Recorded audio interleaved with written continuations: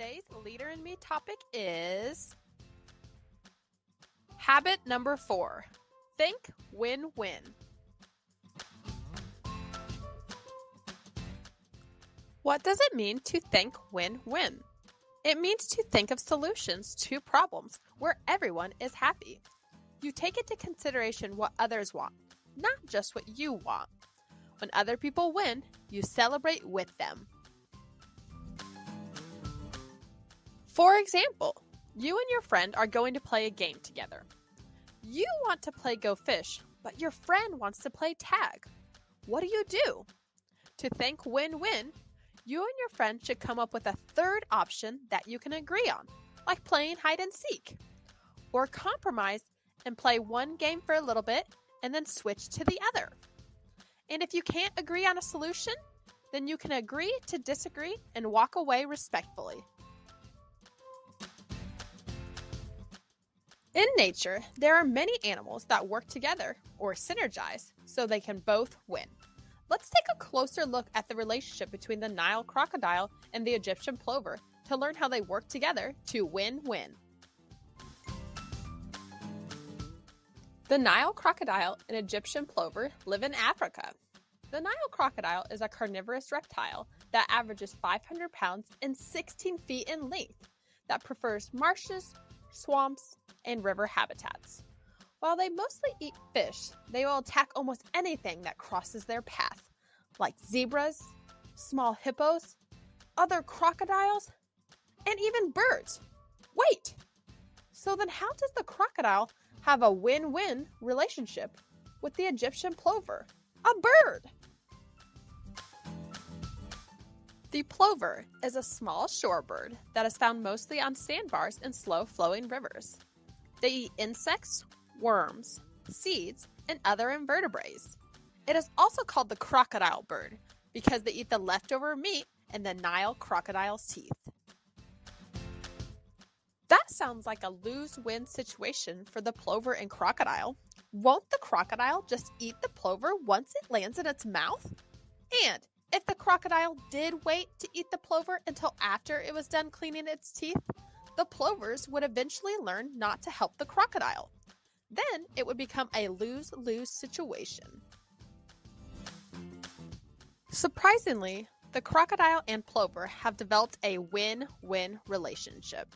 The crocodile gets his teeth cleaned to prevent infection, while the plover gets a safe bite to eat. Everyone wins. Aren't animals amazing?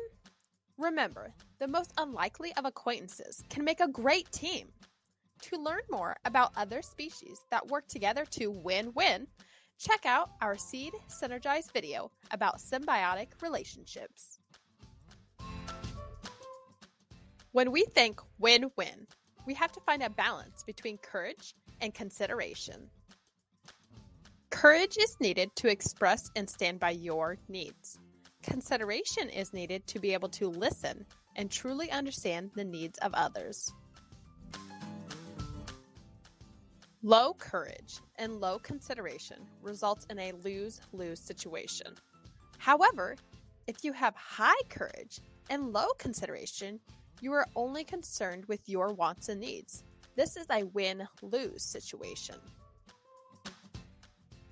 But low courage and high consideration means you put others before yourself, which is a lose win situation. So, how do we get a win win? You need to have high courage and stand up for yourself, but you also need high consideration to be courteous of others' needs. For example, you and your sibling go to get a snack, and there is only one chocolate chip cookie left, but you both want it. What is the win win solution?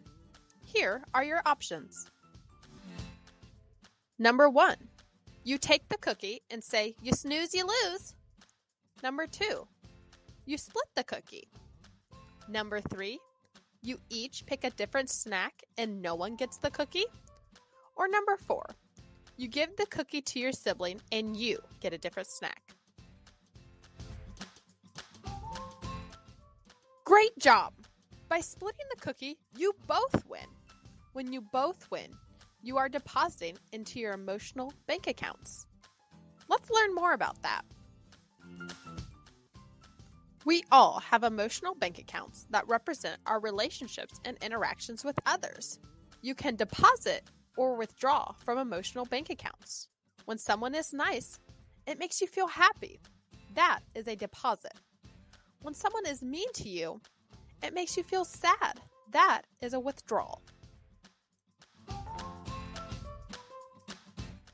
Here are some examples of behavior that result in deposits or withdrawals kindness, courtesy, keeping promises, and sincere apologies are deposits. Rudeness, selfishness, breaking promises, and placing blame are withdrawals. To think win win, you need to have a positive attitude and make deposits into emotional bank accounts. For example, your friend got the Student of the Week award in your classroom, but you really hoped it would be you.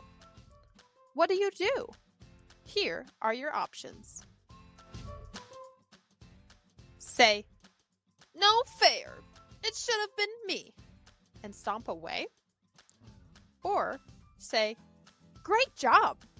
I hope it can be me some week, and give them a high five. If you think win win, which response deposits into their emotional bank account? The second option is the kind response, even though you were still disappointed you weren't chosen. Keep up the positive attitude. In one week, it may be you. Great job!